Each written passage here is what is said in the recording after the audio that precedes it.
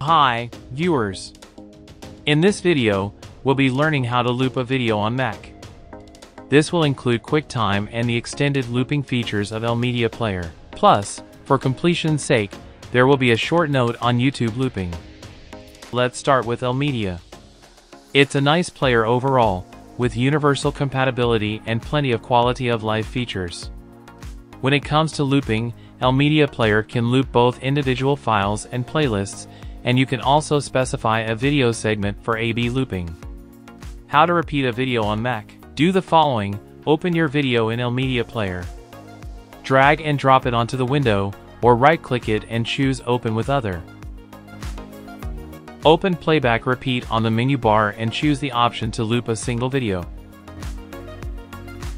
An A-B loop can also be started from playback. You'll have to set the starting and ending points. As I said, Elmedia Player has a lot to offer, especially its pro version. I've gotten a lot of use out of its video tuner, audio equalizer, playlist export feature, but especially streaming. Streaming video and audio over AirPlay, DLNA or Chromecast has never been easier.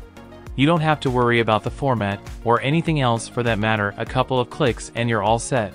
You can get Elmedia Player on its website, as a DMG installer, or on the App Store. Links in the description. QuickTime can do some of these things too. I don't think it's as good as some of the alternatives out there, but it definitely includes a video looper. First, you have to open it. Locate the View drop-down menu on the menu bar. Choose Loop. The major downside to QuickTime is its incompatibility with many file formats, including AVI, MKV, OGG, and others. Plus, there are no settings to adjust video hue, contrast, or brightness outside of editing. If you're wondering how to loop a YouTube video on Mac, this one's really simple. Open the context menu of the video, you can either control click it or use other right click alternatives. From there, you can toggle loop. The video restarts almost instantly. Conclusion I'd say that Elmedia is the preferable way to loop Mac videos because it can do it in more ways and can play anything. That's it for this video. Make sure to subscribe and leave feedback or suggestions for future videos in the comments.